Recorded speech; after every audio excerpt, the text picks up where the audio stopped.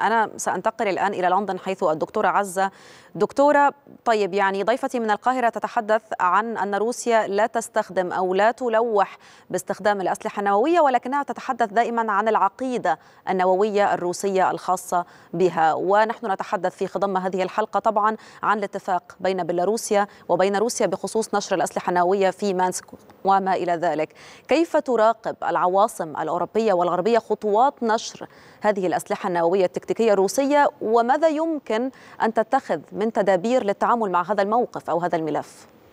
مساء الخير يعني بالتأكيد ونحن نتحدث هنا من المملكة المتحدة أعتقد أنه بريطانيا تقف موقف الحذر وأيضا التشكيك في النوايا الروسية والطموحات التوسعية الروسية بين قوسين تجاه كل ما يحدث الآن من تداعيات الحرب الروسية الأوكرانية. يعني ونحن نتحدث عن بريطانيا. وزير الدفاع البريطاني ورئيس الأركان للقوات المسلحة البريطانية أعلن عن ضرورة أن تكون بريطانيا في الموقف القوي تجاه أي أطماع توسعية أو تحذيرات باستخدام الترسانة النووية الروسية ضد دول أوروبا أو ضد القارة الأوروبية بشكل كبير.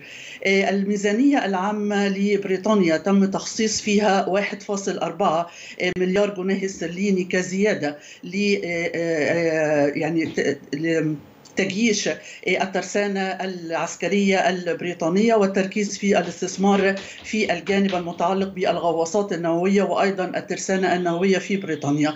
وكان الحديث على أنه بريطانيا عندما تقوم بهذه الخطوة وزيادة الميزانية الخاصة بوزارة الدفاع هي لحماية أمن بريطانيا القومي وأيضا لمصلحة بريطانيا لمواجهة أي خطر ربما يأتي إليها من الجانب الروسي. فأعتقد أنه بريطانيا عندما تولي تولي هذا الجانب اهتماما كبيرا هي تعي تماما إنه أمام ما يحدث الآن في أوكرانيا وأيضا هذه التهديدات هي تريد أن تكون على أهبة الاستعداد وأيضا التحذيرات التي قد تواجهها بريطانيا أو القارة الأوروبية بشكل عام تجاه أي طموحات روسية.